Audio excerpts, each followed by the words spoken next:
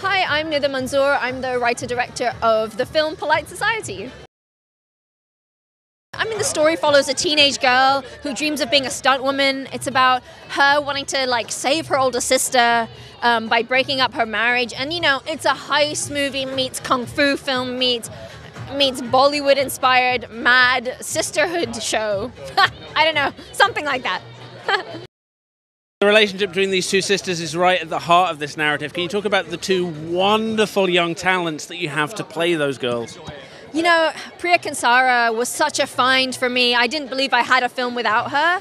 And when we found her, I was like, okay, now I have a movie. She can do the comedy, the teen angst, the sisterhood, the warmth, the vulnerability, the action, the dancing. You know, she is the total package in a way. And I feel like so lucky to have found her. And her chemistry with Ritu Arya, who plays Lena, is is just so great. I mean, Ritu I've worked with before. She's an incredibly talented and skilled actor, and I knew I wanted her in this movie as well. Talk a little bit about the visual language of the film and particularly how that carries over into the action sequences. Yeah, you know, I, I wanted it to be heightened, to be stylized, to have a sense of comic book feel, but also to have a kind of frenetic energy. This is a film, you know, about a teenage girl, and I wanted to have that sort of bursting at the seams enthusiasm in the way we shot it. So it was just energy filled, stylized, and just, you know, a true silly co- genre comedy, I think. I'm curious, obviously, this is a very fun film, but is it also important for you the extent to which it perhaps subverts people's cultural expectations, their gendered expectations? Yeah, you know, I wanted to show the complexity of what it means to be a young girl, to be a young woman.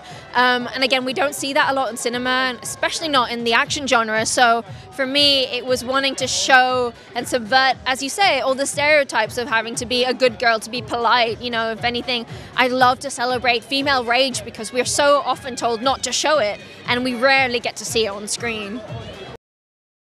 Was there a particular sequence that was the most challenging to film or the most rewarding to uh, pull together?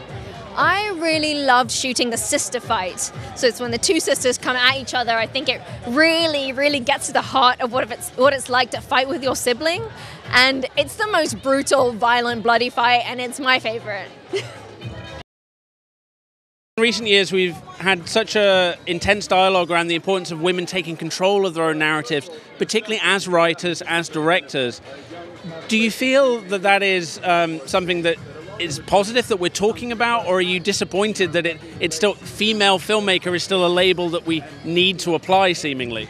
You know, I'll keep the labels as long as it keeps the new voices coming through. You know, hopefully one day we'll get to a point where we don't need to have the these labels at all. But until then, you know, can, they can be helpful tools to usher in new voices, to support new filmmakers, and really kind of create true diversity by bringing in more and more people to take up space.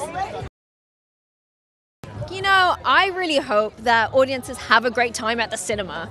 I want this film to play in the cinema, and I really hope audiences can go and watch it with their friends. And you know, and it's a, such a celebration of sisterhood. So I hope they come away feeling great, inspired, and go learn some martial arts and kick some ass. I'm so excited about film Rye Lane that's coming out. I think that's going to be incredible. I'm excited. Just what else am I? Renfield. Like I'm excited for that. Like you know, cinema feels like it's finding its sense of fun and its sense of joy again, which is really cool. My name's Seraphina and I play Clara in Polite Society. Amazing to have you with us. Can you tell us a little bit more about what excited you about this script overall and where your character fits into it?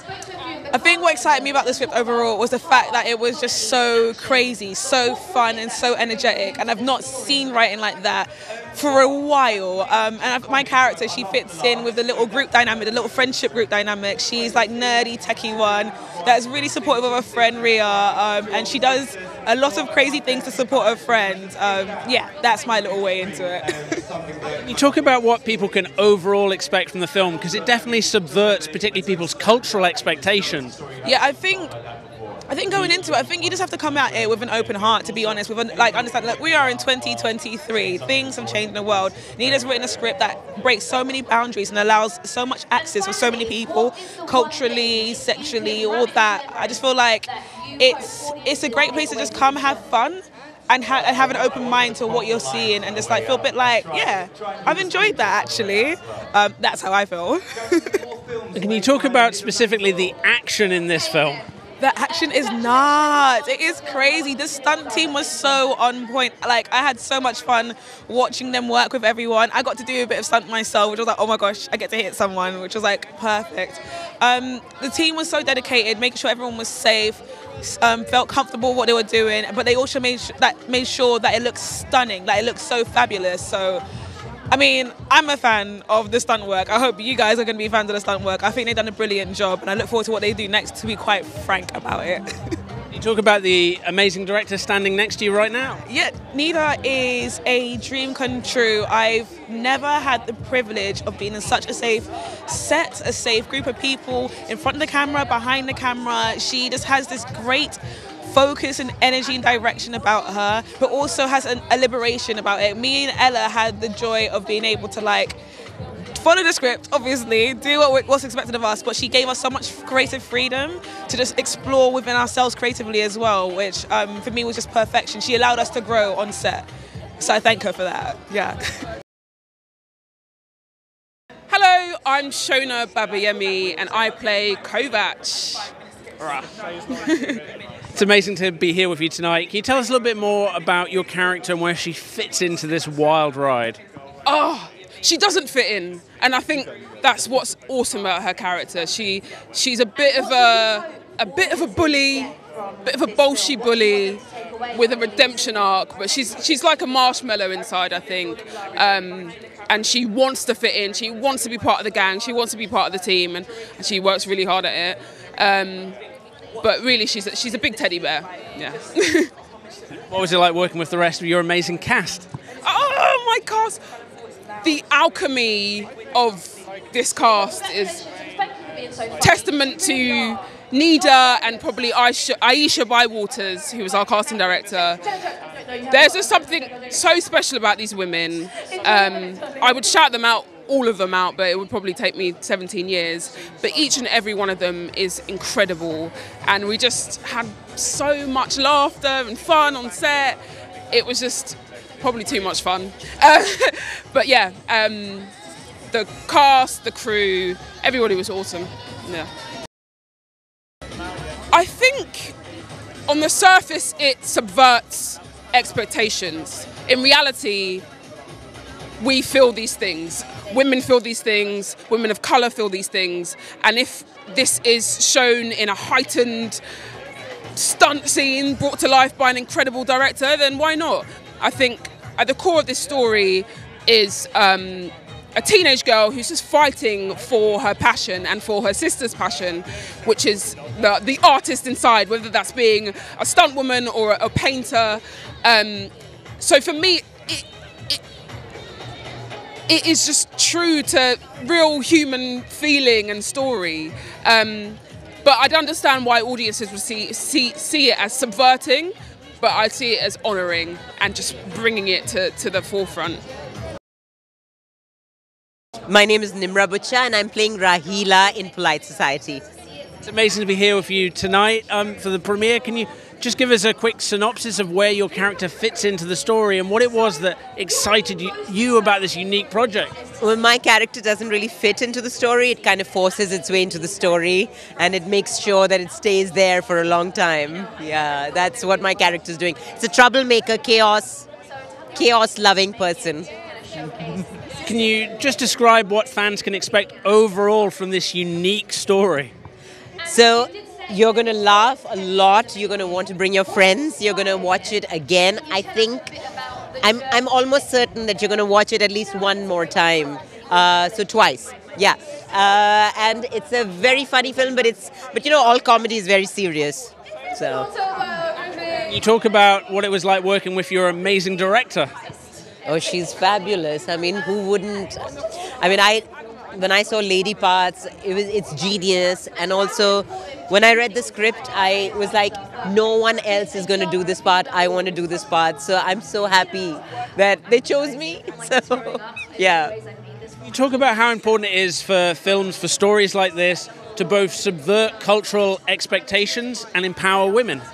Yeah, I think it's not it's not every day that a film like this comes along that subverts those things and also that doesn't bother to explain anything and yet you you get it. And I think that this um, people are going to get this story and they're going to it's definitely going to start a new trend of films like this. Um, but there's there's only one Nida. Is there anything else you're working on at the moment that's coming up?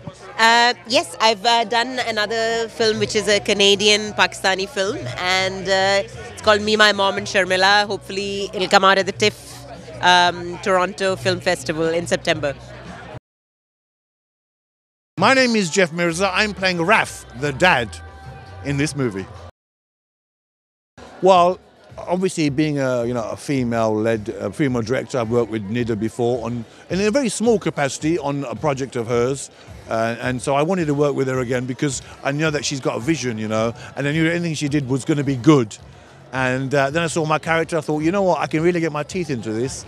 And then, you know, once I realised that I got a couple of daughters and they kick, they kick ass, you know, I loved it. You know, I just, I just wanted to get get involved really.